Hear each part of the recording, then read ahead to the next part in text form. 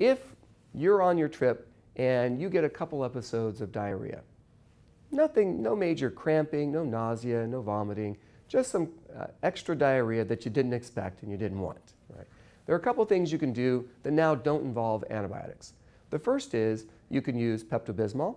Pepto-Bismol is bismuth subsalicylate, and it's really the bismuth part that's doing most of the heavy lifting for traveler's diarrhea.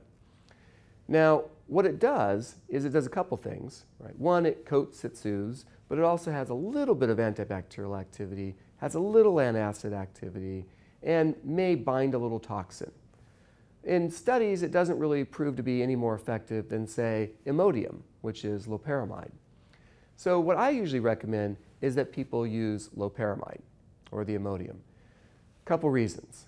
The bismuth subsalicylate is a cation that will chelate, in other words, it will combine with certain antibiotics, like fluoroquinolones, a ciprofloxacin or an ofloxacin, something that we want to give somebody to treat traveler's diarrhea will now be potentially inactivated by the Pepto-Bismol.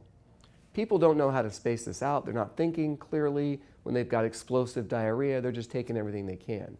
So to make it easy for patients, I think probably the easier recommendation for people is to use an Imodium product to start with.